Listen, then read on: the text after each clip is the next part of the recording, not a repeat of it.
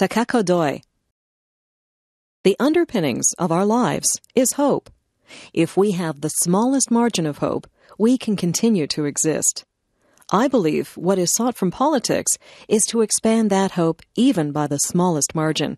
When we think of it, however, it seems politics has cast a shadow over people's hopes.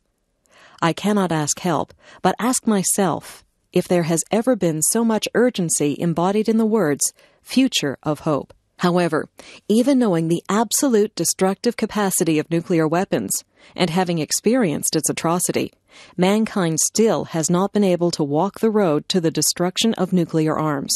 To the contrary, some countries see the retention of nuclear arms as the symbol of a national power.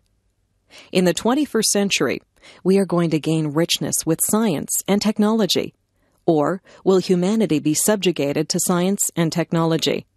we will be faced with the choice of one or the other. I believe the advances of telecommunication technology will present us with similar choices in the future. Fifty years after the war, the Japanese society is caught in a very perplexing stagnation. When I look back on the last 50 years of Japanese history, I am beset by the deepest soul searching and painful frustration when I find that we Japanese have not been able to overcome our mistakes on our own volition. We still have not been able to reach a reconciliation with many of our Asian friends. Politicians should speak of the future, of ethics, and life. A discussion of hope should be based on fundamental principles. In particular, politicians must speak with children and young people and women if we are to retain hope for the future.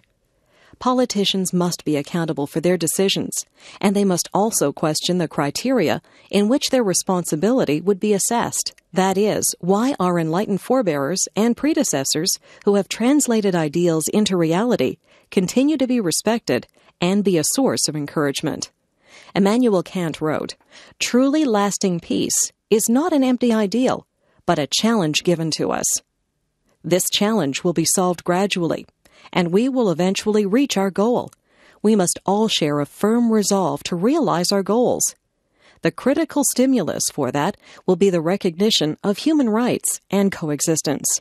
However, there are many problems that face us, but when we think of how we can respond to such difficulties and challenges, I question where we can place our starting point. It is at this fundamental question that the future of hope must be questioned. That is the question I entertain for myself, and which I believe has to be resolved.